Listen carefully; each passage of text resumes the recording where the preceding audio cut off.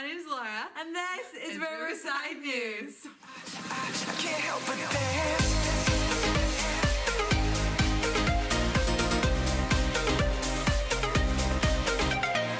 Riverside Church. If you haven't seen already, we have a funky new info point on the top landing outside the auditorium.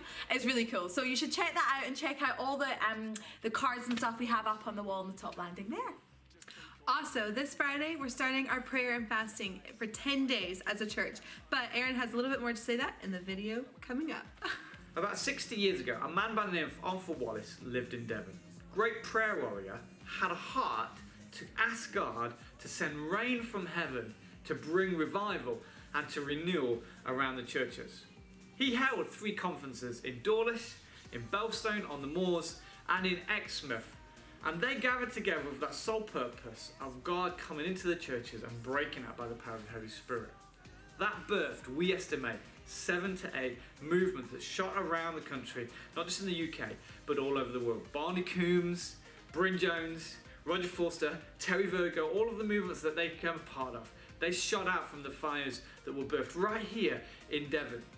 We're going to operate 10 days of prayer and fasting, starting on Friday, the 6th of July, that you could come and join us in praying that God says rain from heaven once more. 60 years on from the moment that happened here in this wonderful county.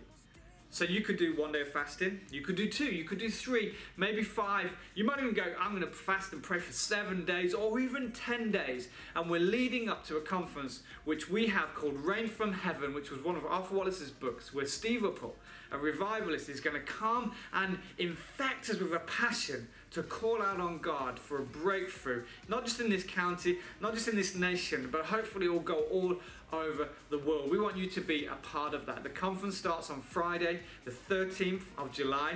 In the evening, we're going to pray for an hour for the day that follows. And on the Saturday at 10, we're going to come and meet with Steve Uppal as we get into the presence of God right the way through the day to 3.30. So five pounds a book.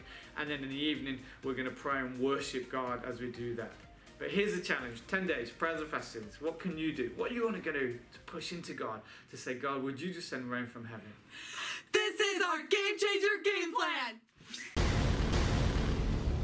So we thought it was a bit confusing at everything that's going on over the 10 days. So we've written it out to explain.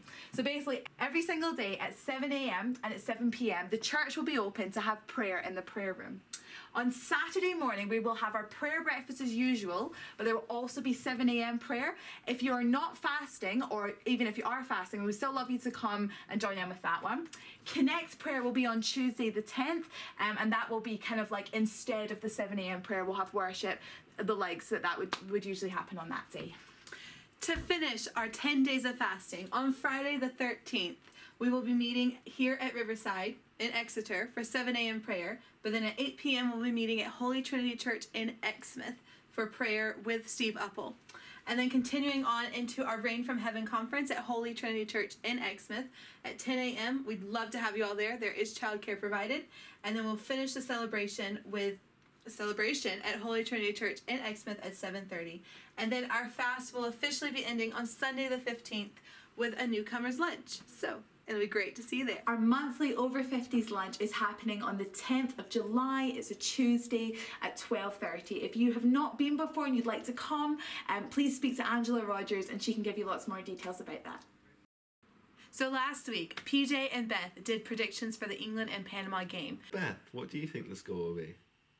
2 1 to England. England will win 5 0. Come on, England!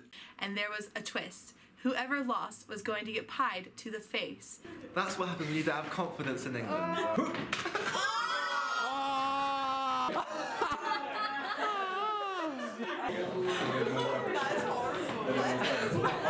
As you can see, PJ guessed 5 0, and the score was actually 6 1. Um, so PJ got the closer prediction, even though Beth did get one of them right, PJ got the closer.